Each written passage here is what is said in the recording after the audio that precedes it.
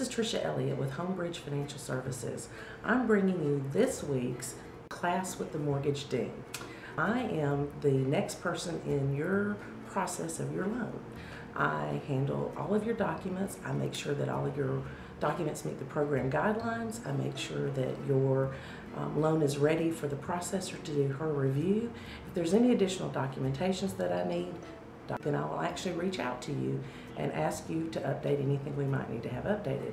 If I do so, please, please get that documentation to me as quickly as possible. That way the process of your loan will go as smooth as possible. In addition to some of the documentation that I ask for, I am your concierge between the time that you're under contract to the time that you close. If you need anything, if you need what your what your interest rate needs to be locked in, I'm the person that's going to help you with that. And the next person in your process of your loan is your loan processor.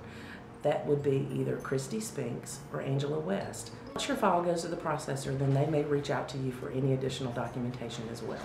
Thank you, and I hope you have a fabulous day. Be sure to subscribe to Dean Bendall's channel and follow him on all of his social media.